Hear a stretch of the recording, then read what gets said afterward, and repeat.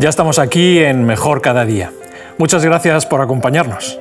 En el programa de hoy vamos a hablar sobre una interesante propuesta educativa, la educación bíblica. Pero antes de pasar a tratar el tema en profundidad, vamos como siempre a ver qué opinan ustedes en nuestro espacio de opinión pública.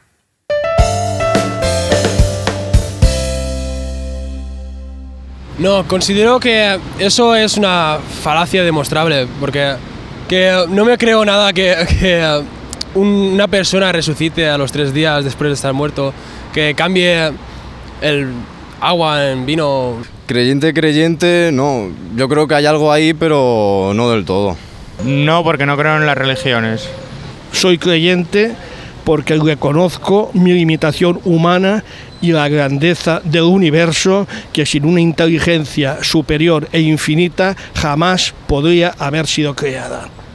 Sí, la verdad es que sí, leí la Biblia por entretenimiento más que nada cuando, por lo normal, cuando empiezas ahí a la comunión y todo eso que te animan tus padres, y entonces empiezas a, a tener ese sentimiento de, de querer conocer cosas, de lo que vas a dar, de lo que vas a ser.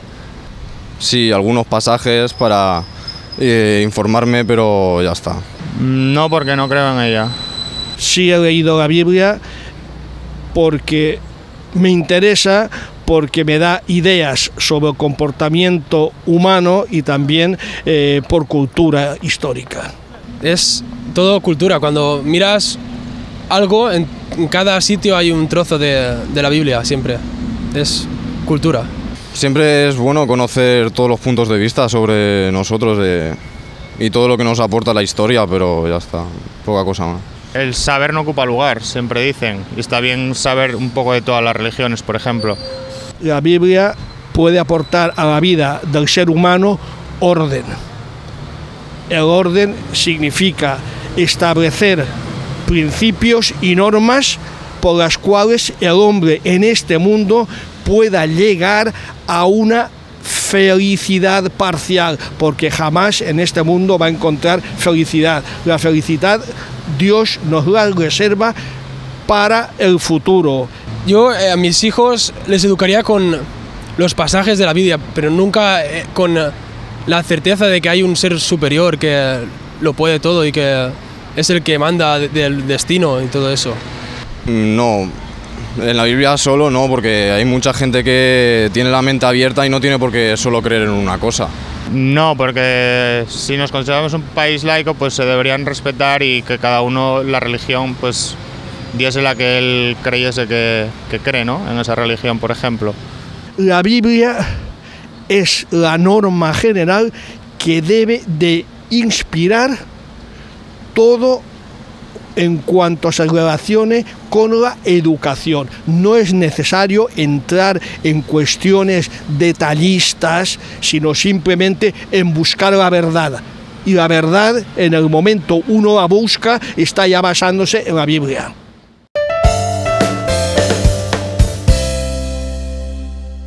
Muchas gracias, como siempre, por todas esas opiniones que ustedes nos regalan. Pasamos ahora a conversar con nuestra invitada de hoy, María José López. Ella es bióloga y profesora. Muy bienvenida al programa, María Muy José. buenas, encantada de estar aquí con vosotros. Me alegro. Muy bien, vamos a empezar por algo muy básico, ¿eh? una pregunta eh, muy sencillita. ¿Qué es la educación? Bueno, creo que todos estamos de acuerdo en que la educación no solamente es el hecho de dar conocimiento a los demás, ¿no? de aportar algunas ideas, sino que la educación es bastante más profunda y lleva a una formación. De hecho, educar es formar. Entonces, la educación es como la inculcación de todos una teoría, de todos unos proyectos que se tienen en cuenta, pero más que el mero hecho de aportar ideas o datos, es también, digamos, una forma de aportar a la, a la persona, forma de vivir, forma de, de- de poder llevar un poquito el estilo de vida. Es, digamos, pues eso, enseñarle un poquito a formarse. Ujú. Eh, ¿A qué llamaríamos entonces el modelo educativo? ¿Qué es un modelo educativo? Claro, pueden haber distintos modelos educativos, ¿no? Un modelo es pues una síntesis o una recopilación de esos esquemas o ideas, una ideología que bajo unos objetivos que tú quieres alcanzar, pues le vas a transmitir a esa persona. Entonces, dependiendo un poquito de lo que tú quieres transmitirle a esa persona, vas a elegir un tipo de modelo u otro, ¿no? Un tipo de, información y de enseñanzas para que él tome unas decisiones en base a un modelo que a ti te, en este momento te sugiere algo. Eh, ¿Cuál es el porcentaje aproximado eh, eh, de personas, digamos, cristianas, pertenecientes a distintas confesiones cristianas, sin especificar ninguna, en el mundo actual? ¿Es una cifra que podemos tener un dato aproximado? Son datos teóricos, porque en realidad cuando una persona pertenece a alguna creencia, alguna religión, ¿no? alguna iglesia, pues claro, ahí es donde tenemos más datos. Luego el que sean practicantes o no, ahí desconocemos. Pero fijaros, hay muchísima, un porcentaje, a lo mejor un 85% de la población dice ser creyente, pero cristiana sería un tercio de toda la población mundial. Un 33% dicen ser cristianos, de distintas denominaciones. En este caso nos estamos refiriendo a una población eh, cristiana y creo que alguna relación debe tener. Eh, para entenderlo bien, eh, ¿podrías decirnos qué es la Biblia para todo este sector? Sí, claro. Biblia viene de, dos términos, en latín y en griego, de la palabra libros. Y en realidad está muy bien definido así, porque la Biblia es una recopilación de varios libros.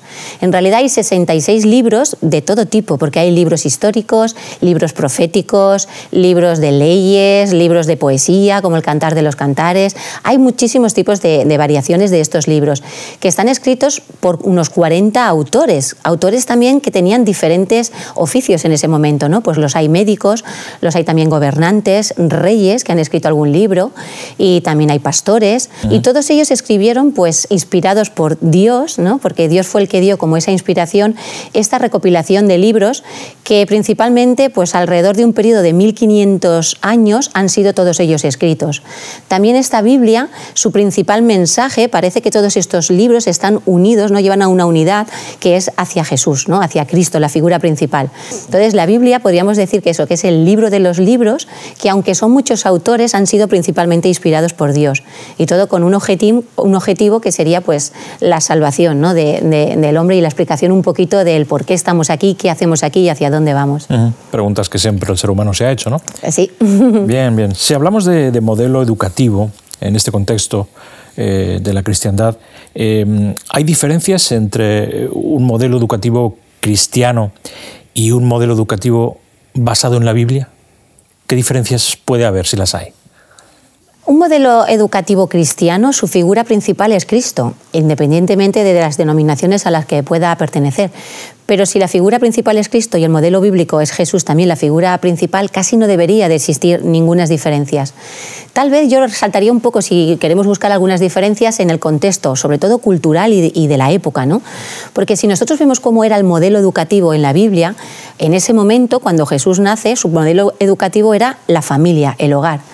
Esa sería tal vez la diferencia, que en ese momento, a nivel de la cultura, pues no estaban obligados a ir a ningún colegio. De hecho, el principal colegio era el hogar, sobre todo la madre, que es donde recaía el principal peso de educar a los hijos y de todas las costumbres, de la labor, del oficio que tenían en ese hogar, se les enseñaba desde pequeñitos, aparte de las enseñanzas también que en el hogar querían llevar. Hoy en día es una obligación el tener que asistir a una escuela, una escuela donde a veces los pensamientos de los padres no son totalmente iguales a los que se enseñan en la escuela. Y entonces ahí pues la elección de una escuela hoy en día pues es muy importante que esté muy de acuerdo ¿no? con lo que se le va a enseñar en el hogar. Entonces tal vez eso es un poco pues que, se ha hecho principalmente por dar una ley también y proteger al, niño para que tenga una educación. Todos tenemos derecho a una educación y se le obligue también a tener esa educación. Pero tal vez sea un poquito más cultural, ¿no? de, de la época, del sistema educativo, de las leyes que gobiernan ese país, porque en realidad un modelo cristiano y un modelo bíblico a lo que se refieren las palabras es lo mismo. La figura principal y tener como maestro es Cristo. Y a partir de ahí, pues todo lo que podemos averiguar con lo que nos pone en la Biblia. ¿no? muy bien. Eh, ¿Qué puede aportar al alumno de hoy día un modelo educativo basado en la Biblia? Claro, si nosotros veremos cómo es ese modelo, veríamos que es importante el ver qué es lo que se enseña. Nosotros tenemos en esa época, cuando viene Jesús, una cosa distinta de lo que se hacía en ese momento y es que Jesús elige a sus alumnos. En una escuela tú no eliges a los alumnos, los alumnos normalmente ya te vienen de una forma y tú les educas según la teoría, según los principios que tú quieres inculcarles. Pero cuando un alumno recibe una educación cristiana basada en la Biblia, va a recibir todas las características que el maestro tiene, que ese es Jesús, para tener luego una sociedad donde no existan pues, características que por desgracia hoy en día tenemos, ¿no? donde está la corrupción, donde la verdad no sabes por dónde aparece, y entonces en ese momento pues, la educación siempre es un poquito basado en el respeto y la libertad por los demás. Muy bien, ¿qué significa entonces enseñar desde el punto de vista bíblico? Enseñar es algo como educar, porque no solamente es eh, dar ideas, porque educar es más formar, pero digamos que enseñar es también saber vivir en este mundo, ¿no? Digamos que tal vez enseñar es yo te puedo demostrar algo que yo vivo. Entonces, para ello, el maestro tiene que vivirlo. Cuando yo estoy enseñando algo, con, la misma, con el mismo ímpetu que yo puedo tener a la hora de enseñar, ellos lo van a recibir, los alumnos. Entonces, cuando yo enseño es que muestro algo de mí. Entonces, quiero enseñar alguna materia, tengo que conocerla, pero no solamente dar datos, sino que tengo que saber transmitirla y tengo que hacer que tú lo puedas llegar a vivir. Entonces, cuando hablamos de enseñar, es mostrar lo que realmente quiero en ese momento con mi ejemplo, sobre todo. Eh, ¿Cómo sería el proceso de enseñanza y aprendizaje en este modelo bíblico de la educación? Pues es el vivir cada día. Yo cuando me pongo a ver el modelo que tenían en la Biblia, pues si te das cuenta era una sociabilidad muy grande. Jesús no iba en un lugar, se encerraba y allí impartía todo. Normalmente cuando estás en un colegio, ¿no? yo soy profesora, y cuando tienes a los alumnos, depende qué materias estás tratando, te das cuenta que necesitas salir y enseñárselos. Porque la teoría, cada uno se puede hacer su esquema mental, pero cuando lo ve en una imagen, pues ya te dice muchas cosas. Entonces Jesús aprovechaba sobre todo la sociabilidad y el, el día a día, los quehaceres del día a día, para poder mostrar todo lo que él quería enseñar en ese momento y sobre todo con comparaciones. A veces tenemos ideas muy complejas, pero cuando explicamos como con una parábola, ¿no? con un, mecanismo que va siendo un poquito más ligero, como una historia, para que acabe de entender realmente el significado, el alumno lo puede ver mejor. Entonces, yo diría que es un poquito la convivencia total. No solamente es ir a impartir, te voy a enseñar a dar datos, porque eso hoy en día con los mecanismos que tenemos podemos conseguirlos de cualquier forma, sino que también tenemos que enseñar a, a, que vean esos datos, a que los hagan suyos y a que puedan valorar y ver como una imagen de todo lo que queremos llegar, ¿no? como objetivo final, para finalmente, si lo aceptan, pues que lo puedan hacer muy suyos. Digamos que en este caso el ejemplo es también un recurso didáctico. Yo creo que es el que más, es el que más. De hecho, enseñar es vivir y transmitirlo. Entonces tú tienes que tener muy claro lo que le vas a decir, tienes que tener un conocimiento, pero también, sobre todo, tienes que vivirlo. Y si estamos hablando, por ejemplo, de una ideología, tienes que vivirla. Si yo te estoy diciendo una cosa, pero no la hago, queda muy frío. Y finalmente, el ejemplo, al fin y al cabo, es lo que más habla, más fuerte habla. ¿no? Y sobre este asunto, eh, ¿cómo debería ser entonces el, el maestro que imparte este tipo de modelo educativo? Claro, pues el maestro debía de ser conocedor de ese modelo, vividor, obviamente, en el sentido de que si estoy enseñando un modelo educativo bíblico, tengo que vivirlo yo también. Entonces conozco primero y después lo asigno como algo mío. Y cuando ya lo he aceptado como algo mío, entonces ya es cuando finalmente lo transmito. Pero sobre todo yo creo que es eso, de, vivencia. Y todos los valores que de ese modelo quiera que el alumno aprenda, los tengo que tener yo. Se los tengo que enseñar en la forma de su evaluar, evaluación, en la forma de corregir, con la disciplina, qué metodología voy a llevar a cabo y con todos los demás elementos que forman parte de ese modelo educativo. Y si hablamos del alumno, eh, ¿cómo debe debiera ser el alumno en, todo este eh, aspecto de, modelo educativo bíblico? Bueno, el, alumno también podríamos poner una imagen de un alumno ideal que en realidad no existe, porque ¿cuántos alumnos tuvo Jesús? Jesús eligió él mismo a doce, y de los doce, ¿cómo eran? Muy distintos, ¿no? Tenemos a pescadores rudos, a recaudador de impuestos, tenemos a personajes de mucho tipo, un médico tenía varios. Entonces, en este momento tú no eliges a tus alumnos, los alumnos vienen a ti. Por tanto, ahí hay una diferencia, porque cuando ellos eligen al maestro, llevan un interés especial en que ese maestro les enseñe. Cuando en realidad vienen y les toca un maestro y tú tampoco eliges a tus alumnos, tal vez esas expectativas ya no las tiene el alumno. Por tanto, yo creo que lo principal es que el alumno tenga muchísimas ganas de aprender, independientemente de cómo sea su carácter, porque después con la educación y con la enseñanza tú vas a intentar transmitirle unos valores que vas a ir poco a poco pues, haciendo que pueda ir inculcando, si, es su decisión. Pero sobre todo, yo creo que es eso, que tenga ganas, que, muestre un gran interés por lo que tú quieres en ese momento transmitir. Es una cuestión de voluntad por parte del alumno también. Por tanto, ahí la figura del profesor o del maestro casi es más importante que la del alumno, porque a veces el alumno viene con una imagen ya muy negativa y se ha puesto una barrera de esto no me gusta y no lo voy a aprender. Pero si le cambias esa, esa idea, si tú consigues hacérsela atractiva y le muestras algo que empieza a tener interés y mucha más motivación, el alumno acaba haciéndolo también suya. O sea que aquí el papel del maestro es muy importante también. Es, todo un arte, ¿no? Es este casi, más importante. Es, todo un arte, ¿no? Cómo saber impartir, provocar la curiosidad para que finalmente el alumno pueda pues aprovecharse del sistema educativo. ¿no?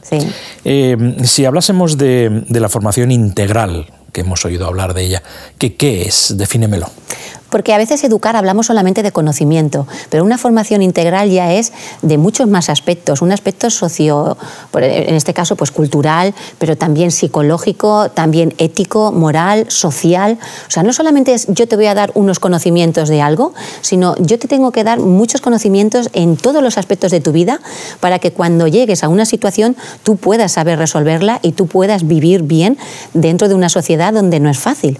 Entonces, una formación integral no solo forma en un aspecto, sino es un todo, es formar en todos los aspectos. Aparte de darte información teórica, es sobre todo pues unas ideas y unas pautas para que tú puedas vivir con todos los problemas que te vienen en este mundo. Eh, ¿Qué papel juegan eh, en este modelo bíblico del que estamos hablando conceptos como la dignidad, el respeto, eh, la igualdad, la convivencia? Bueno, son conceptos muy amplios, ¿no? Yo resaltaría de todos ellos lo que Dios dice a, causa, en este caso a favor del hombre, ¿no? Y es que Dios pone al hombre a un nivel donde todos estos elementos se exaltan y es que nos llama hijo de Dios. Cuando el hombre realmente ya estamos en una situación que eh, está bastante decaída, Dios lo eleva otra vez. Entonces, cuando nos llama a todos, sin importar sexo, cultura, religión, creencias, físico, sin nada más, nos pone en el mismo nivel, todos estos valores tienen que estar ahí en ese modelo educativo. Entonces, por ejemplo, la igualdad. Dios trató a todos por igual. Daba lo mismo si una persona en este momento, ante esa sociedad en la que él vivía, estaba siendo rechazada. Pues la mujer adúltera, pues el ladrón como Zaqueo, que había estado recaudando un montón de, dinero para él solo.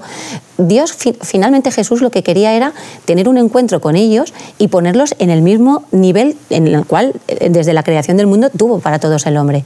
Entonces, es una igualdad de que todos somos iguales. Es también un respeto, porque nos debemos de respetar todos.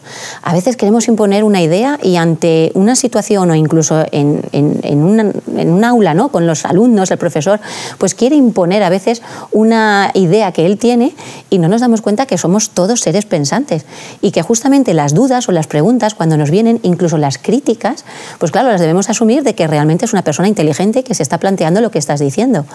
Entonces, el respeto es importantísimo, respeto a todos, pero sobre todo también el querer servir a los demás. ¿no? Cuando tú realmente estás ah, respetando, teniendo por igual a todos, tú en realidad es un gozo servir a los demás para poder ayudar. Entonces, todos estos valores, Jesús finalmente es como una lo, resumen en una palabra que dice que como los hombres, como los demás quieras que se porten contigo, pórtate tú también con los demás, ¿no? Es un poco como que haz tú con los demás lo mismo que te gustaría que hicieran contigo. Entonces, con todos estos elementos, Dios lo que quiere es que en realidad aquí estamos todos para ayudarnos. No es una competición, como la sociedad nos dice, compite por un puesto de trabajo, compite por ser el mejor, compite... No, al final la situación nos obliga casi a enfrentarnos y Dios no quiere eso. Jesús cuando vino aquí, Él era el rey de reyes, el, el, que podía haber hecho todo, sin embargo viene con un modelo. Y el modelo es yo estoy aquí para ayudaros, para lo que no entendéis, pues explicároslo, pero sobre todo con mi ejemplo para demostraros que podemos vivir una vida muchísimo mejor ¿no? con todos estos valores. Eh, ¿Qué papel juega entonces eh, para asumir los retos de este modelo de aprendizaje, eh, este modelo bíblico? por ejemplo, ¿qué, ¿qué papel juega la perseverancia o la responsabilidad? Esto es muy importante y es prácticamente lo que hoy cuesta mucho, porque con una perseverancia en lo que yo creo debo de seguir adelante a pesar de todos los inconvenientes que me vengan, yo debo de seguir luchando sobre todo por mis creencias. Entonces, Jesús lo dijo también, ¿no? Vais a sufrir en este mundo, pues es complicado, vais a tener muchos problemas, pero yo os animo a seguir adelante porque yo estoy con vosotros. Entonces, con ese modelo educativo bíblico, Jesús lo que te está animando es a que sepas solucionar tus problemas, sepas por lo menos a enfrentarlos y sigas adelante con un objetivo porque no estás solo. Hoy en día esto casi los jóvenes tienen un poquito más de problemas, porque cuando no tienes ningún valor ni ningún objetivo y la vida te está tratando muy mal, ¿Qué significado le ven ellos a seguir adelante? Entonces vienen con sus frustraciones y caen en problemas como las drogas, porque te ayuda a olvidar, y finalmente pues aparece por desgracia también el suicidio. ¿no? Y esto es también a veces porque no hemos llegado a saber afrontar. Cuando yo tengo una ideología, cuando yo tengo un pensamiento, debo de seguir adelante con ello, siempre y cuando no me demuestren que estoy equivocada o que lo estoy haciendo mal. Pero deberíamos seguir adelante y quitarnos esas frustraciones para poder llegar al objetivo final. Y eso es el saber vivir el saber tener unas ideas, que es lo que nos vamos formando poco a poco, pero cuando ya tomo mis decisiones, el seguir adelante, aunque parezca que voy contracorriente. Y esto Jesús lo hizo perfectamente, ¿no? En esa sociedad en la que vino tan machista y tan difícil, incluso se enfrentó a los grandes líderes religiosos pero porque no estaban, no conocían realmente lo que mm, Jesús les estaba enseñando. Y sobre todo es que no conocían las escrituras. Ella le dijo muchas veces, estáis equivocados porque no conocéis las escrituras. Si las conocierais, veríais que lo que decís no tenéis razón y que Dios tiene mucho poder. Entonces, a veces nos hacen falta que nos digan que estamos equivocados y debemos de asumir pues que no estoy bajo la línea correcta pero cuando mi línea la elijo yo y quiero seguir ella, nadie me debería en este caso de, quitar de mi camino, si no estoy en este caso, claro, afectando a nadie. No, no es sencillo ¿eh? este modelo educativo. Es difícil, es difícil más cuando vas contracorriente, ¿no? Sí, por eso la sociedad para nada ayuda a que el modelo educativo del que estamos hablando se pueda llevar a cabo. ¿no?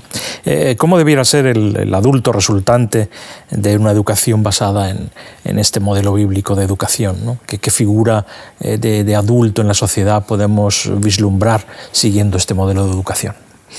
Fíjate, Jesús mm, no nos da el modelo porque Él es el modelo. Y tampoco nos dice cuáles son los elementos que tenemos que tener mucho en cuenta porque en realidad su modelo ya nos deja en claro todo lo que tenemos que hacer. Yo creo que un adulto que lleve este tipo de, que haya tenido este tipo de educación debe ser un reflejo de la vida de Cristo. Muy bien, muchas gracias María José por estos comentarios tan útiles para nuestra sociedad y te agradecemos eh, tu presencia aquí en el programa. María José es bióloga, lo hemos dicho antes, es profesora dedicada a la docencia y te agradecemos muchísimo tu presencia. Nada, yo estoy encantada siempre de estar aquí con vosotros. Muy bien, vamos en estos momentos eh, a ver el resumen de las principales ideas del programa de hoy. Vamos al espacio en pocas palabras.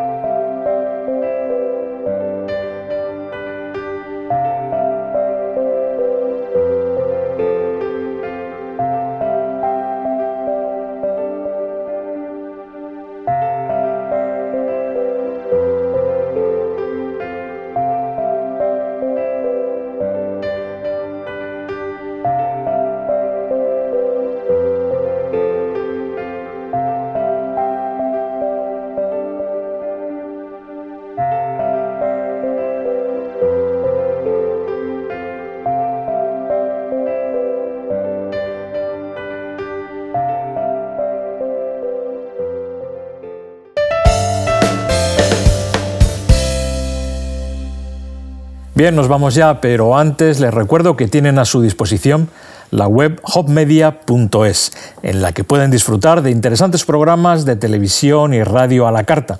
Y por supuesto la página web quecurso.es donde encontrarán interesantes cursos totalmente gratuitos.